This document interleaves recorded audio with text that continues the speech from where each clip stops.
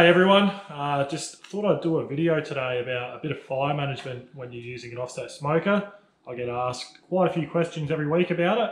So today I'll take you through my method and um, we'll do some beef short ribs while we're at it as well. But what I like to start with is just a good hot charcoal base, whether that's uh, lump charcoal or briquettes. We want to get them burning hot, then we'll dump them in the firebox, and then we'll start adding some uh, split wood. Today we're going to be using some iron bark from Natural Smoke. You just want to build a nice clean charcoal base and um, get that burning really clean and then you can add your meat in and we'll get going. So I'll show you along the way and we'll get into it.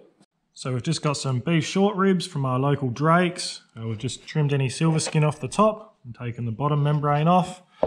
Beautiful quality there as you can see, nice marbling. Then we're just going to give them a nice coat in the uh, Heavenly Hell pistol powder and uh, we'll get them in the offset once it's ready. Alright, so you can light your charcoal any way you want. I've just done it on the side burner of my gas barbecue. You can use fire lighters, whatever you want to do, but I've got about a three quarter chimney worth there. So once they're all nice and red hot, we'll dump them in the bottom and then we can start adding some splits. Another thing I'll do to show you is, is um, we'll go by uh, gauge temperature there and then I've also set up the probe in there so we can see what the temperatures are doing at the grate level uh, through our Inkbird there. So we'll come back when we're ready to dump them in. All right, so that's burning nice and hot. So what I've done in preparation is I've opened up my smokestack and then I've cranked my side fire door as well. So we'll just dump these in.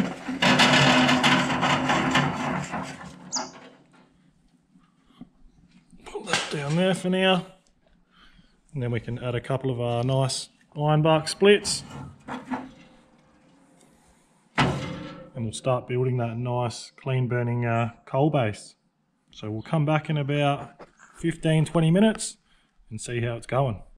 So guys, another tip that I always use is you want to rest your next split that you're going to be putting in on top of the firebox. You want to preheat that log so it catches fire almost instantly, if not very, very quickly. You don't want to be putting a cold log onto a hot fire, otherwise it's going to smolder it, give you dirty smoke, and then it's going to affect the flavour of your barbecue. You don't want that foul taste in your barbecue from dirty smoke, so make sure you do that as well.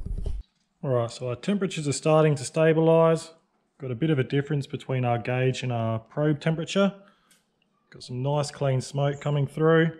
You're always going to get a difference in the gauge temperature to the grill temperature just because they're in two different positions the gauge is up higher and heat rises, so you're always going to get a higher reading from your gauge temperature. Getting a nice clean burning fire in there now. Got rid of all that dirty smoke from the uh, cold logs. So we're going to add our meat in and um, get going. Alright, so our meat is on. We dropped a bit of temperature when we opened the uh, lid to get it on. Some nice clear smoke coming through there. Like I said, you don't want that thick white smoke. You want nice thin blue smoke or clear smoke like that. So our temperature's coming back up nicely now. Going to aim to smoke them at about the 275 to 300 mark. If we see the temperatures climbing over 300, we'll shut our side firebox door. and we'll keep an eye on it. If it's still climbing, we'll slowly shut down our vents a little bit until it stabilizes. Uh, you don't want to panic and just shut everything down. Otherwise you'll get that thick white dirty smoke that'll put a bad taste in whatever you're smoking. And um, after about the two hour mark, we'll spritz every time the ribs look a little bit dry on top. And we'll try and time it so we put a split in every time we need a spritz. Because uh, you don't want to be opening these doors too often and causing temperature drops or temperature spikes whenever you put a fresh log on. That's pretty normal. Yeah, temperature comes down pretty quick, so don't panic with that. So yeah, we'll uh, come back in an hour or two when we're ready to either put a fresh split on or we're ready to spritz. Alright, so our temperatures started dropping a bit. It's been about an hour and a half. I'm assuming it's because our logs are starting to burn out, which they are. And so they're pretty much turning to ash. So we can put a fresh log in. And that should start catching fire pretty quick. Get another log ready.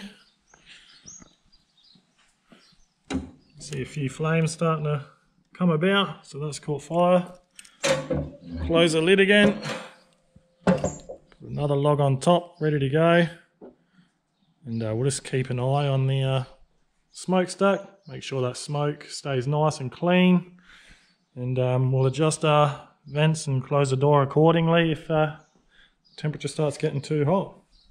Alright, so it's been another hour and a bit. We were sitting steady at about 300. Now I've noticed the temperature is starting to drop quite a bit. So I'm assuming that the uh, splits are starting to burn out in there. So we'll add them two logs in a sec.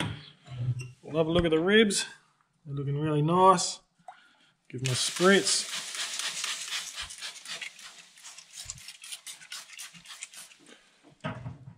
And then see how quickly that temperature drops when you open the lid.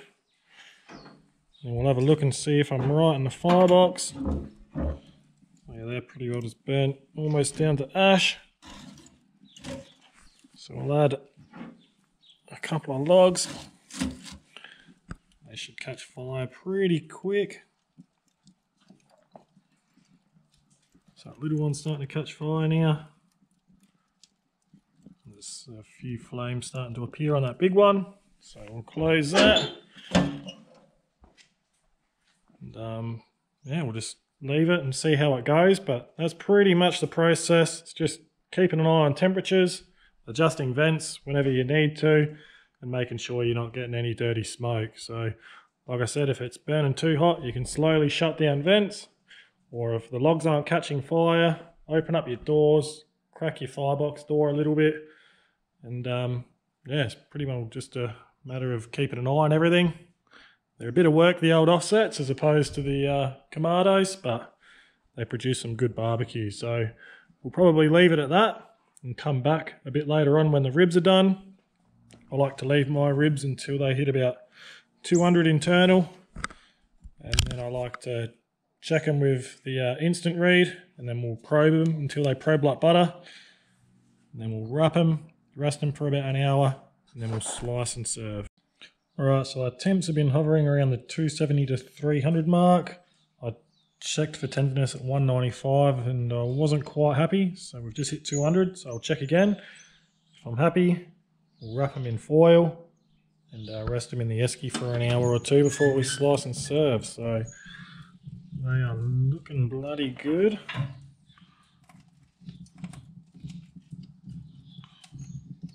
They are probing much better. No resistance with that thermometer, so I think we'll get them out, give them a rest, and uh, come back when they're ready to slice. Right, we are ready to slice. They've been resting for about an hour.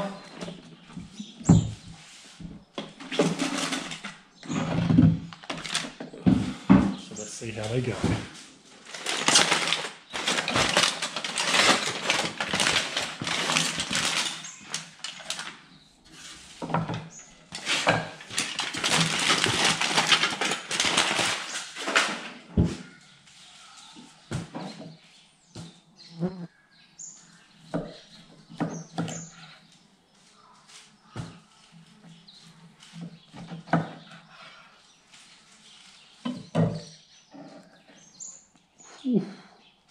Check that out. Wow, we incredible. Check out both sides of that one. See how juicy and everything they are inside there. Time to try a bit.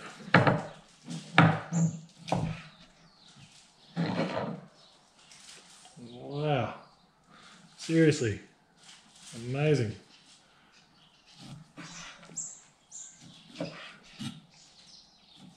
If it Drake's short ribs, like 14 bucks a kilo, and to get that quality, unbelievable. Wow. That's so good. That Heavenly Hell pistol powder. Absolutely unreal. Oh, they are just super tender. You're not going to beat that price and quality.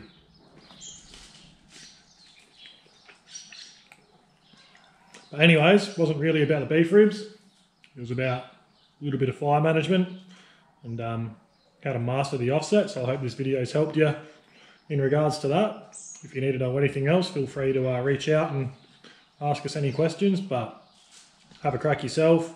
Hopefully it's answered a few questions that you've had or anything like that. So we'll see you next time and thanks for watching.